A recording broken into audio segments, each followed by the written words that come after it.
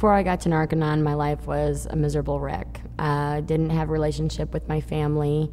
I was sleeping different places every night, or not sleeping, or knowing where I was going to end up, and um, didn't really have any friends or anybody really.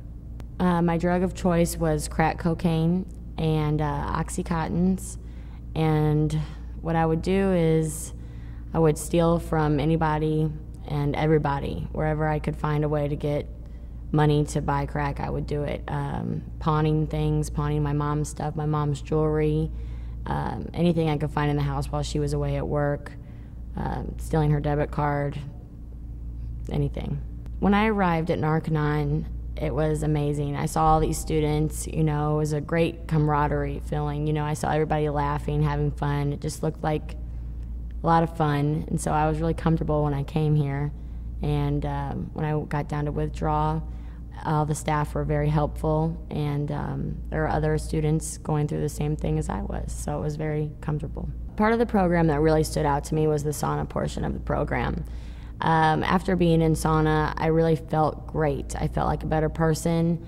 I could smell better, taste better, see better, sleep better, felt more energetic.